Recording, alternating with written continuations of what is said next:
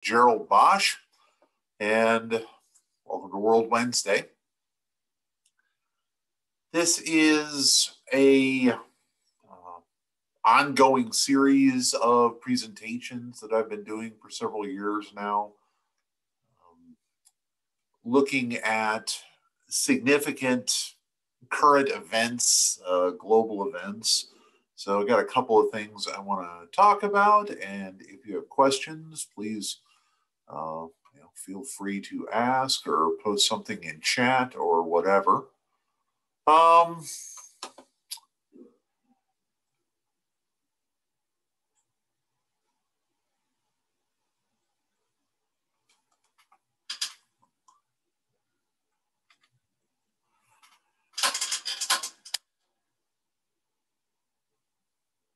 for the last year, I've been starting this off with uh, um, some discussion of what's going on with the pandemic, because it's arguably the biggest thing uh, happening in the world. And uh, luckily, the uh, the BBC is nice enough to create a a snapshot on a regular basis of where things are with the total numbers and all of this. And you can see them here.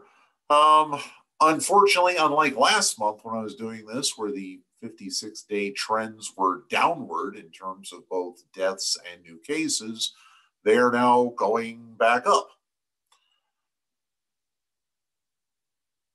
There are a couple of things at work here um, one is there's you know been a spike during the spring, especially here in the United States, uh, that seems to be leveling off at this point. But the bigger sort of dangerous trend areas are in India, where things had been going down. There's a massive ongoing uh, immunization effort there, but there has been a dramatic uptick. And in Europe, where we've also been seeing for a couple of months now uh, newer higher numbers, particularly associated with these uh, these new variants. So, um, unfortunately, this story is hard is far from over, and there's a lot of ground to be covered before uh, we can really start looking at uh, um, the end of this story.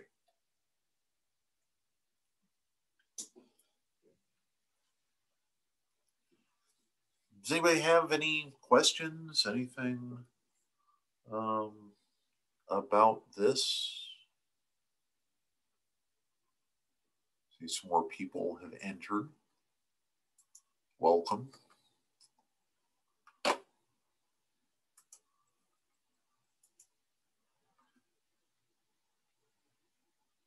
All right. Well, there we go.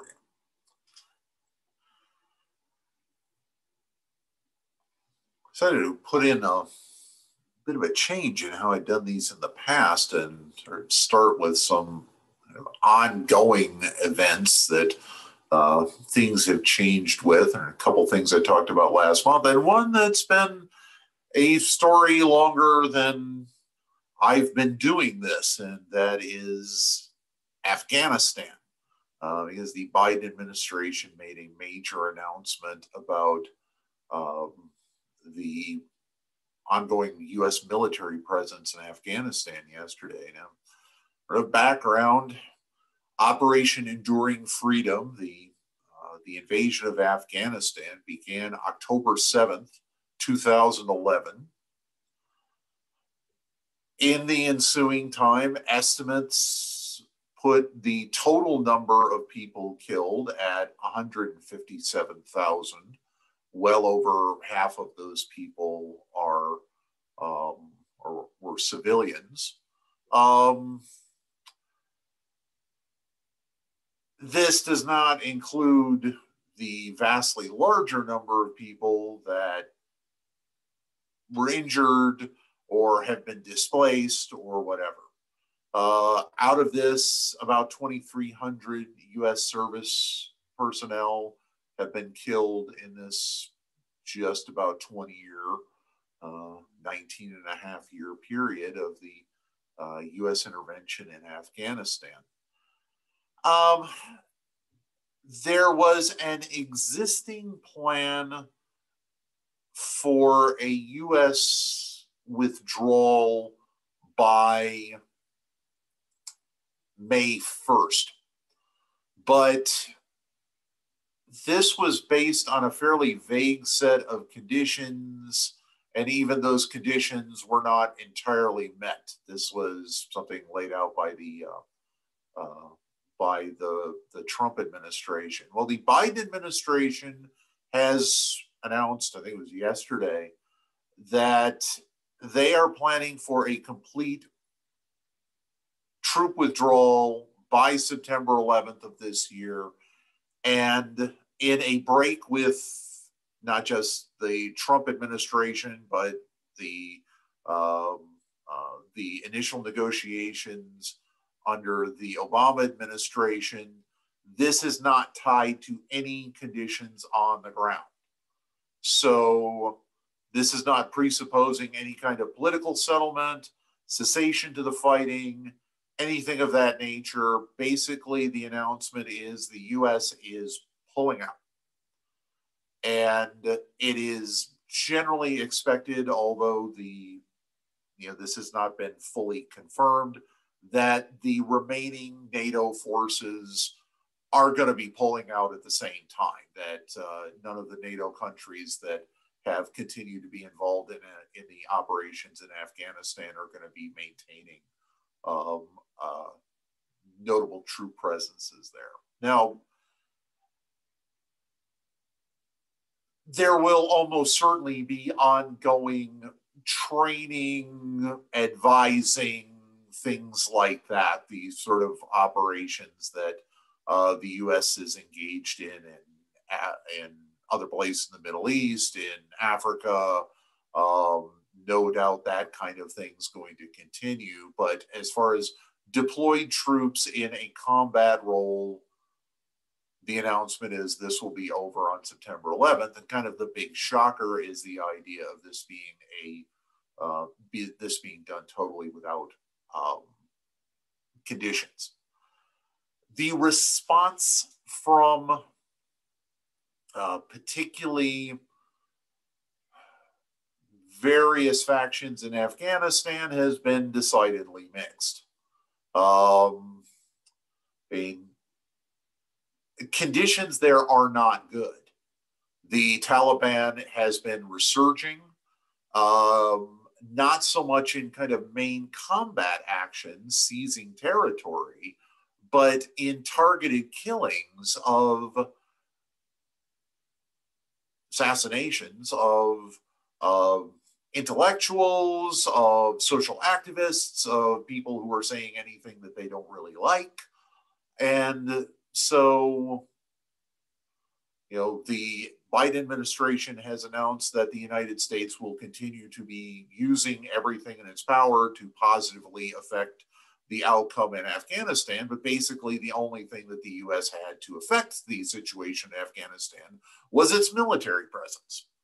Um, the flip side, of course, is that the Biden administration, and I believe President Biden said this directly, um, we've been trying conditions on a withdrawal plan for 20 years and none of them have worked. Um, and sort of some of the word from the administration, from inside the administration, is that in essence, this is realpolitik. It is, there's not a perceived current terrorist threat against the United States emanating from Afghanistan. So the idea of an ongoing American military presence there is not necessary for American security, whatever the result's going to be for the people in Afghanistan. That's the message that's coming out. And there is a solid argument, and I'm kind of veering off into my own thing that there's not going to be a political settlement of this as long as there are US troops in Afghanistan. Um, the negotiations will just never happen.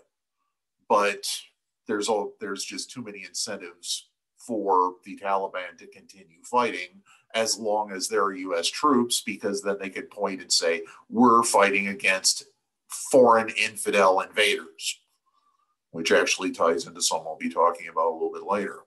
Um, so this is the news. I mean, what the response is going to be, I don't think the Taliban has officially said anything.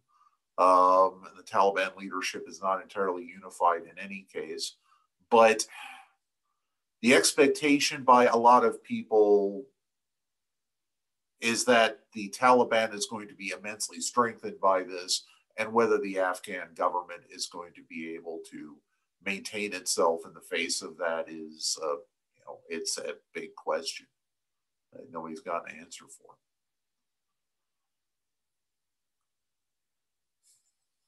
Questions or comments or anything about this big announcement in Afghanistan?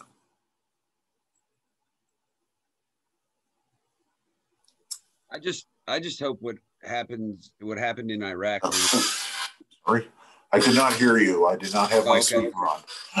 I was saying I'm just I'm just hoping what happened in Iraq doesn't happen in Afghanistan like the first time we tried to pull out of Iraq.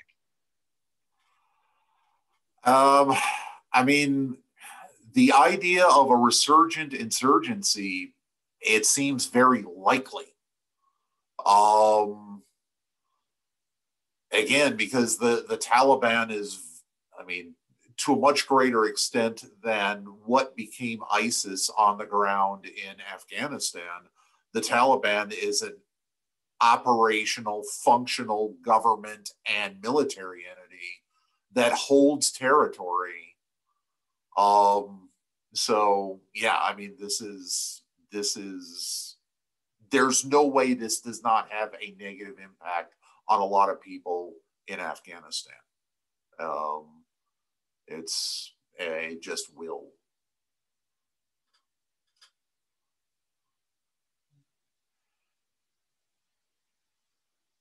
Anybody else? Any questions or comments or anything?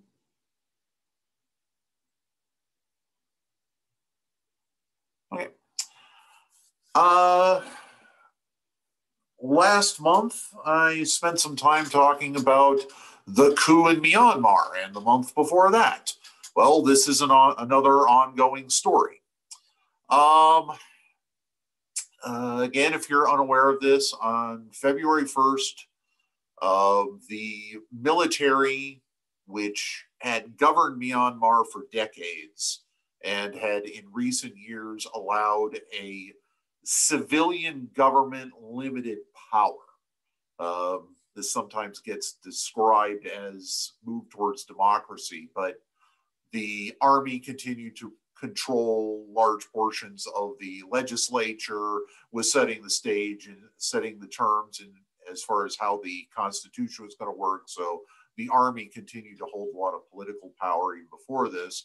But elections back in November went very much in favor of the existing uh, major party, the NDP, and the army and the party that they were backing in the civilian elections cried election fraud.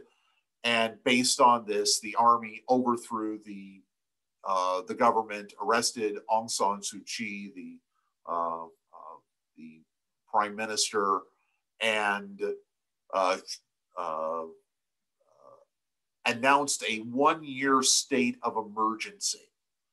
The head of the armed forces, who's been the head of the armed forces for a long period of time, has talked about the creation of a more disciplined democracy for Myanmar. Um, and at the end of this, has promised free and fair elections. There have been ongoing protests in favor of a return to civilian government. Um, at least 700 people have been killed um, uh, by the security forces. Um, these are documented deaths. There could be more. At least 40 of these were children.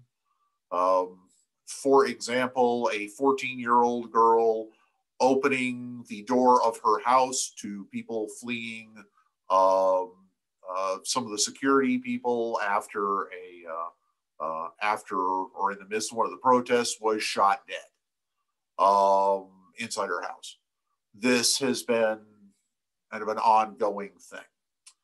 Um, these are the largest protests since what's called the Saffron Rebellion that led to the pro democracy movement when thousands of Buddhist monks took to the streets in Myanmar against the, uh, uh, the, the, military government that had been in place since the 1960s.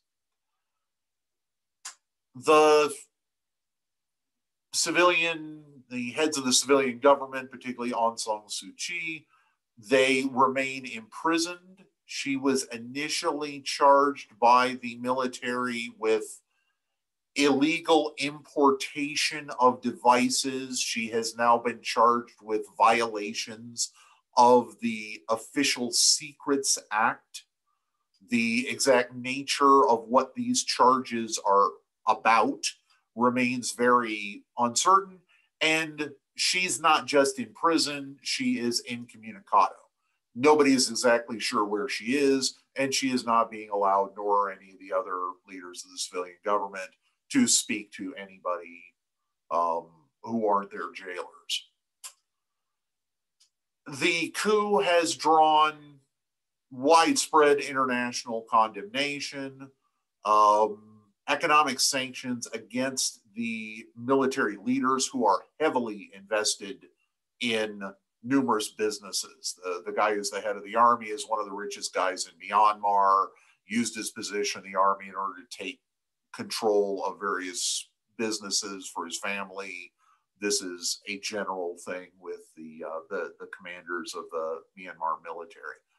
Um, a move to condemn this and impose things through the UN Security Council was blocked by China, which is Myanmar's largest ally.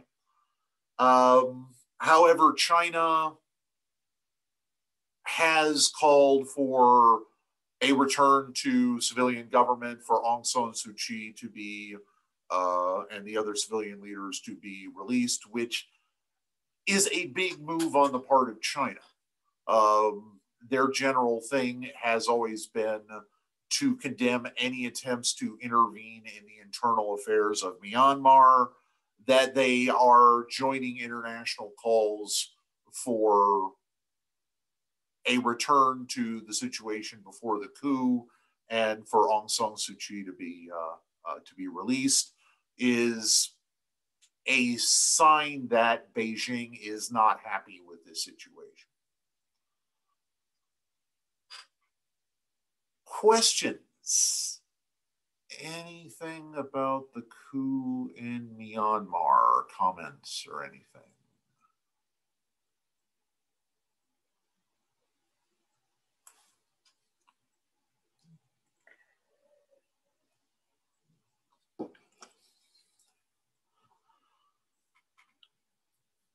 Okay, uh, another thing I was talking about in March, excuse me, is the situation in Mozambique in uh, uh, south uh, the southeastern coast of Africa.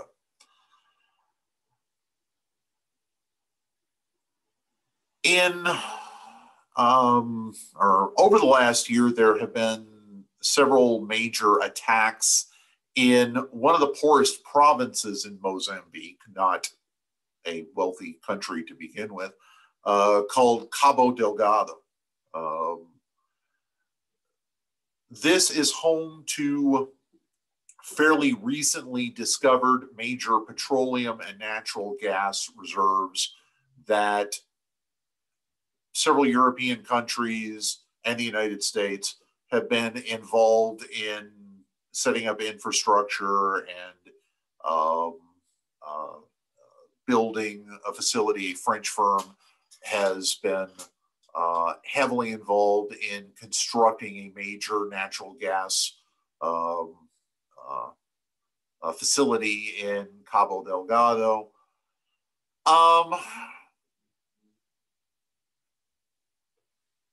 there has been a growing insurgency in the area by a group referred to as Al Shabaab. You may have heard this term elsewhere. This is not the same Al Shabaab that is operating elsewhere in Africa. Al Shabaab is an Arabic word meaning youth. Um, this Al Shabaab, the, the more famous Al Shabaab, is aligned with Al Qaeda. This Al Shabaab has publicly announced its alignment with the Islamic State. It's very unclear how organized this group is. There has been violence going on in the region since 2017. Um, attacks, killings, beheadings, um, various terrorist attacks. This has spilled over the border into Tanzania. Uh, it has posted, it has uh, prompted military responses by Mozambican forces, uh, uh also by the Tanzanian military. Shortly after our last World Wednesday, there was an attack on the city of Palma. Um, that killed dozens of people. Uh, the uh, the insurgents overran the city. Uh, the total number of casualties is actually rather unclear. Uh, again, Mozambique security forces have locked down this area for months, have allowed very limited visits by any outside agencies, not just press, but humanitarian groups, um, you know, international observers of any sort whatsoever. They have brought in a mercenary unit from South Africa, which being used in, a counterinsurgency um, uh, counterinsurgency role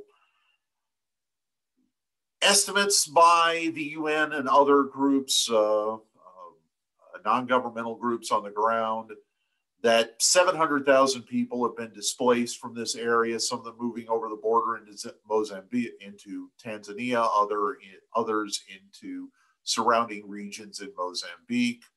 Amnesty International has documented instances of torture, extrajudicial killings, by both the government forces and the rebel forces in the region. This week, the World Food Program uh, called for donations to an emergency fund. They're estimating that 950,000 people in the region, so just shy of a million, are in imminent danger of starvation there's a lot of questions about what's going on here. The narrative from the Mozambique government is that this is an instance of foreign insurgents, Muslim insurgents, politicizing a conflict, creating an insurgency inside the country, that this is entirely foreign driven a lot of people who have been watching the situation in Mozambique for a long time think that while there is definitely a foreign role in all of this, that a lot of this is actually civil unrest. Again, Cabo Delgado is a very poor area in an already poor country. Over the last decade, first ruby mines were discovered in the area and then significant petroleum and natural gas reserves. The government in Mozambique contracted with the United with firms from the United States and uh, from Europe to build facilities. Those companies built facilities there and primarily brought in foreign workers in order to do it. Uh, according to one estimate, about four times as many jobs were generated for people in the United States by this as for people in Mozambique.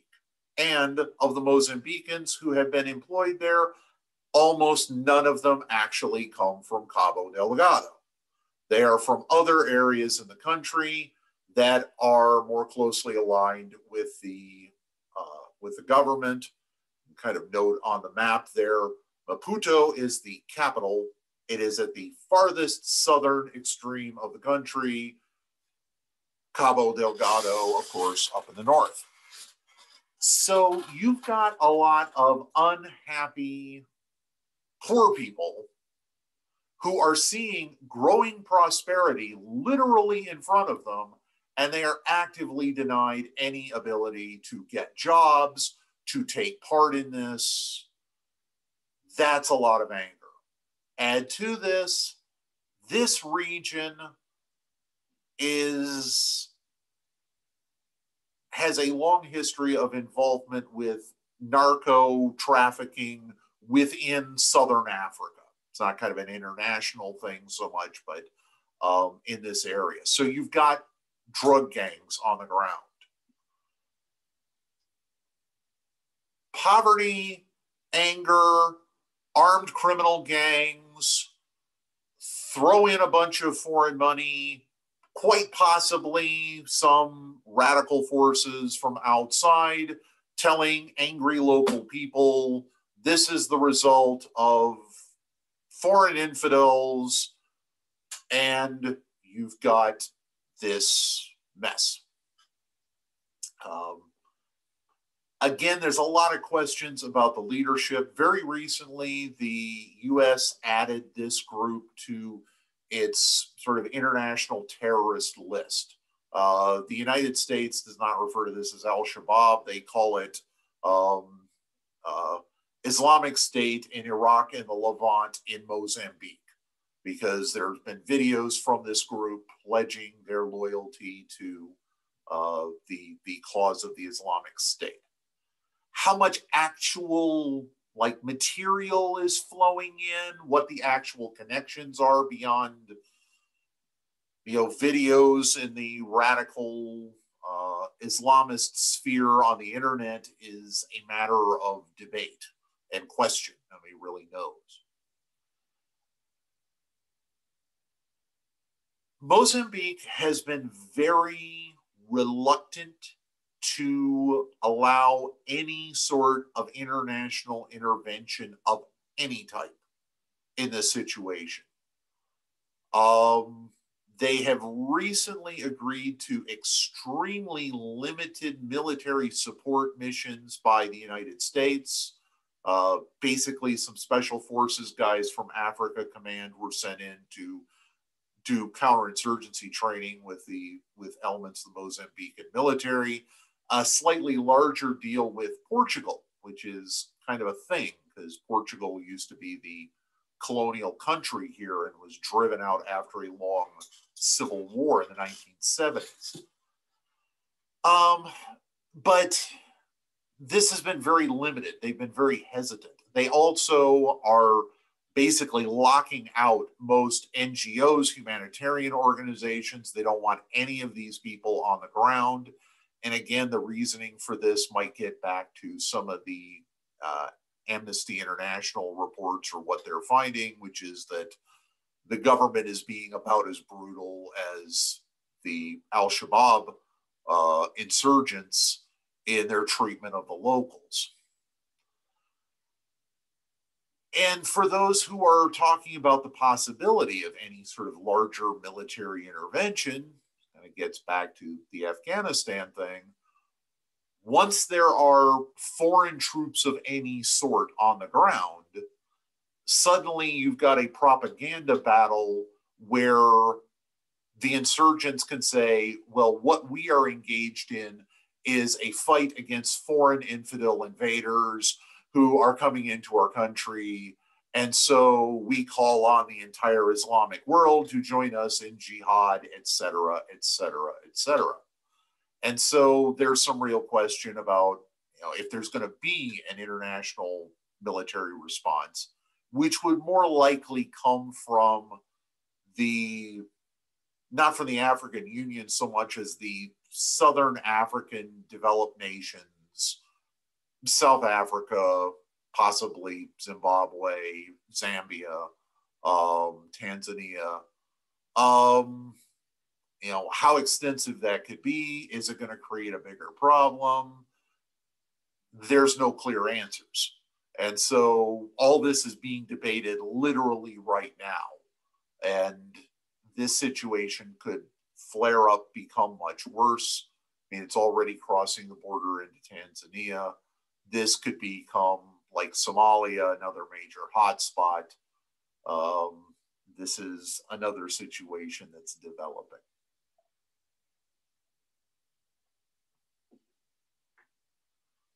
Questions or comments or anything about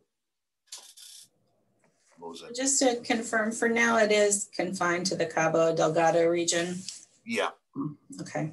Because you know there have been there have been like limited attacks in the surrounding areas, but uh, the the the real fighting is all going on there, and it's really centered around that natural gas facility that the French are building.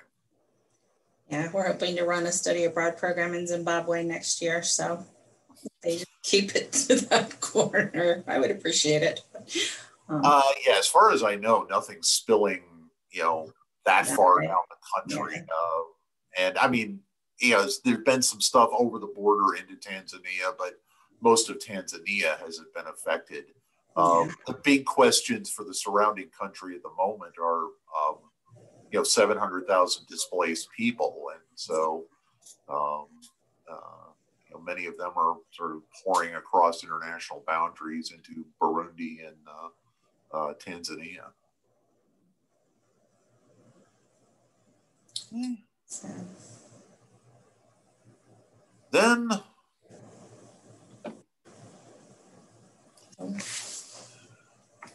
Iran and the Natanz nuclear facility. Um, I very likely have never heard of this place until the last few days. Uh, over the weekend, um, Natanz on Sunday. Um, Natanz is a site for enriching uranium in Iran. You can kind of see it on the map there where all this is. Uh, it's sort of in the center of the country, south of Tehran. Uh, it's underground, it's like 50 meters underground.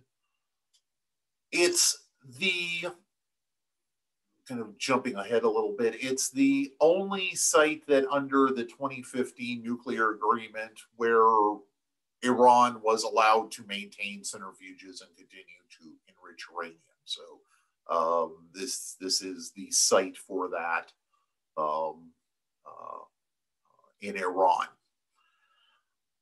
On Sunday, there were reports of an explosion and a blackout. Um, yesterday, more information about the extent of the damage came out. Uh, first, it was said that some centrifuges were damaged. Uh, an official from the Iranian nuclear agency says that many of the of these centrifuges were damaged.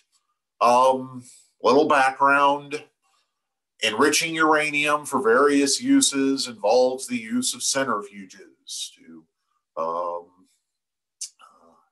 uh, to get them to a level of purity. Um, some more advanced centrifuges that Iran had purchased were brought into operation on Saturday. And then on Sunday, the explosion. Israel has not openly said that they did this. But basically, everybody knows that Israel did this. In Israel, Israeli public radio is talking about how Israel did this. Um, Iran has blamed Israel. The United States is talking about this as if it's just a fact. And Israel, while not acknowledging that they did it, are not denying that they did it. And certainly it would be in line with Israeli policy. Um, because of the security on the site and all of this, and because again of proven capabilities of other attacks, it's assumed that this was a cyber attack by the Israelis that in some fashion interfered with the cooling systems inside this bunker, led to the explosion and the damage to the uh, these centrifuges. Yesterday, the Iranian government vowed retaliation. Uh, today, they announced at least one part of this um, that they are going to enrich uranium up to a level of 20% of 60% purity. They had only ever enriched up to 20% purity up until this point. And that as part of this, they're going to install and activate newer generation centrifuges that they had purchased but had not been using as part of the whole negotiation because the whole thing about this nuclear agreement is about enrichment um, or a lot of it's about enrichment. And so elements of it have been about what centrifuges can you have and what centrifuges can you use? And can you use these Model 6s when you have been using these Model 1s? And so this has all been part of the negotiations. Um, and they announced that in response to this, they're going to power up the new ones and they are going to increase the level of purity of these to 60%. Um, now, for the background of all of this, a little bit about the 2015 nuclear agreement that's sort of the big diplomatic thing that's surrounding this. Uh, the You'll sometimes hear this referred to as the JCPOA, the Joint Comprehensive Plan of Action. This is the agreement that was made in 2015 that the United States, the European Union, Iran, Israel all signed on to. Under this, again, Natanz, the only site that uh, uh, uranium enrichment is supposed to be going on at in Iran. They had had another site that was closed down. They're only supposed to be enriching uranium to 3.67% purity which is what you use for medical purposes, basically.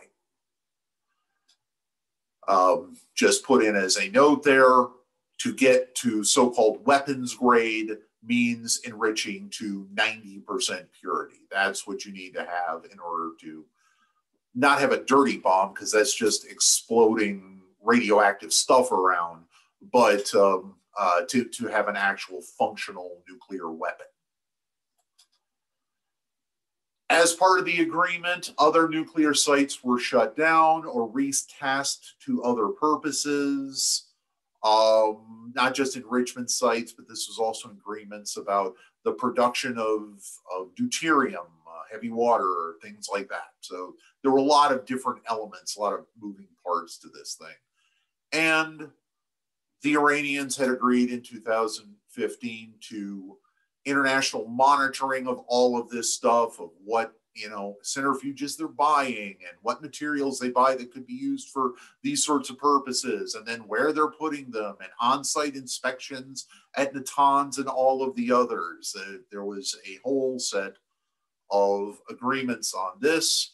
In return an existing set of sanctions by Europe and the United States were going to be lifted In 2017, the Trump administration withdrew the United States from the JCPOA and instituted economic sanctions. Iran responded to this by basically cranking up the centrifuges. Um, They increased enrichment kind of step by step. It was sort of an ongoing escalation up to 20%. And they built a, they have built now a larger stockpile of nuclear material than they have ever had. Because they began violating the terms of the agreement by enriching more stuff and enriching more material and to a higher level than is allowed under the JCPOA.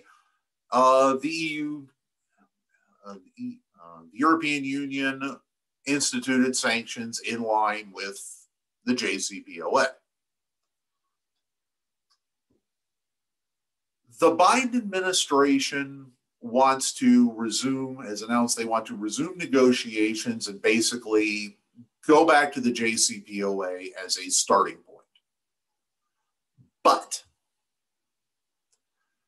the position of the Biden administration is that the first step in this is Iran has to stop enriching, open up for inspections, go back to their agreement.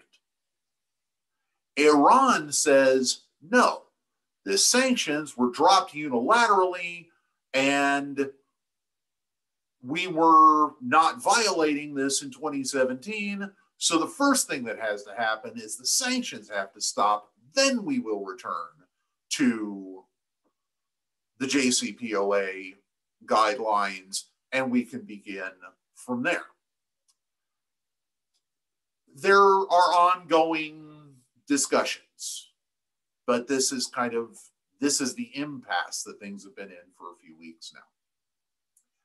The Netanyahu government in Israel does not want this return to the 2015 agreement at all.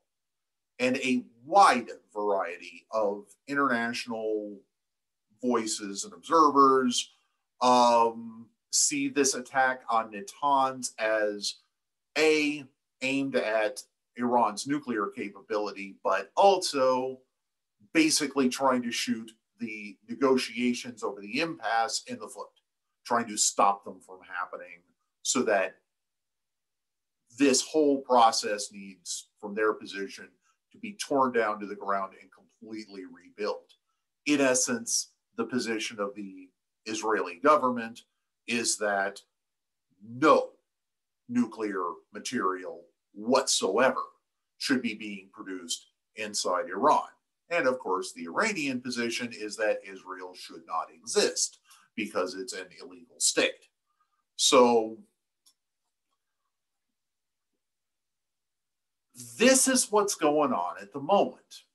Iran is kind of playing their card, which is continuing to up the level of violations of the JCPOA to both punish Israel and put pressure on the United States and the EU to drop the sanctions while at the same time, et cetera, et cetera. And all of this falls into the middle of this.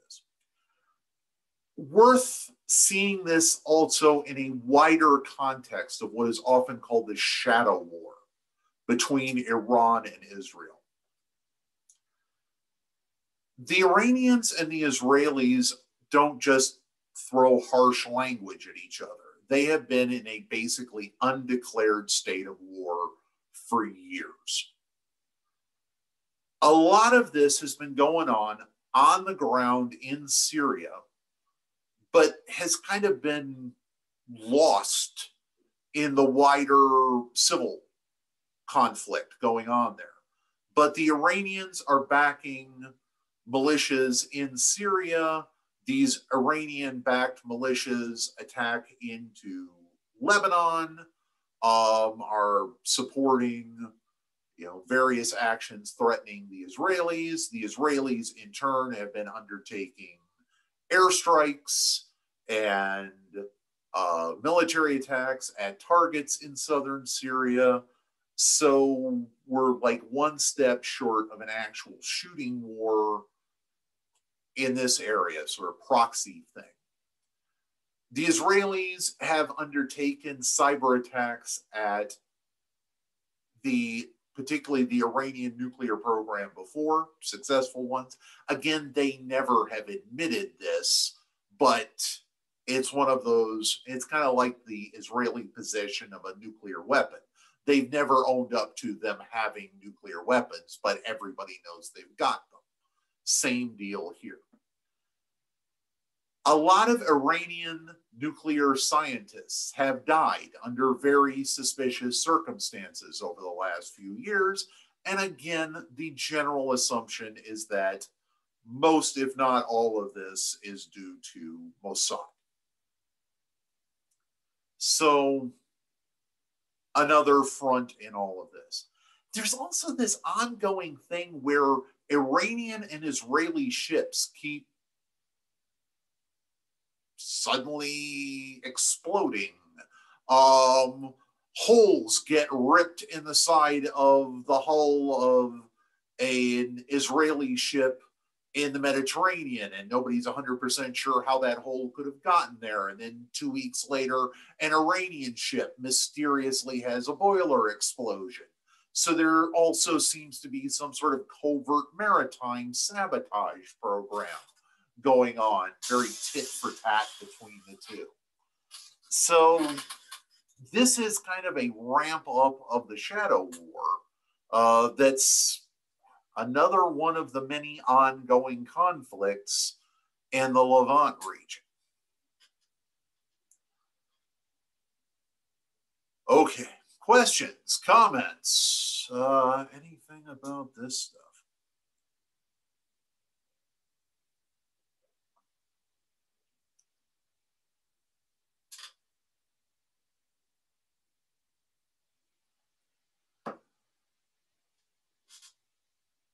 Okay.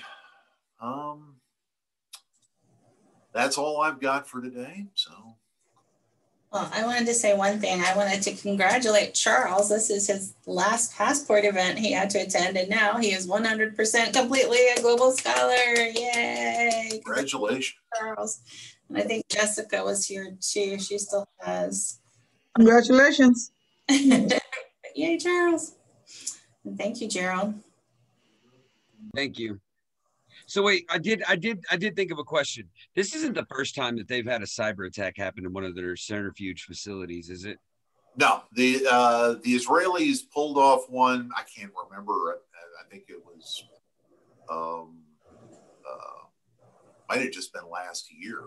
But uh, but there they, was one yeah, way earlier too, wasn't there? I mean, this is like the fourth or fifth that's happened to them, where their facilities, their centrifuge facilities, have like caught fire and and and and I think it's funny though because I mean, yeah, it may be a cyber attack from Israel, or I mean, it, do they have the same people working in the same facilities? You know what I mean? Could it be the same guy making the same mistake in each one, and they, then they're just like, it's Israel. well, I mean, somebody might. Hey, hey, who, who knows? But it's notable that the Israelis never deny this stuff.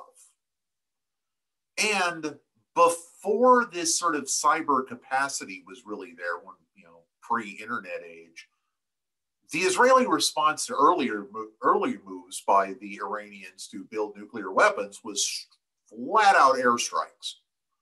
Um, so that they would be doing this in a covert way seems to make a lot of sense. But yeah, it's you know always possible that somebody could have an accident in the middle of you know a very real conflict that could make things that much worse, right? Is nobody's going to believe it's an accident right now. okay.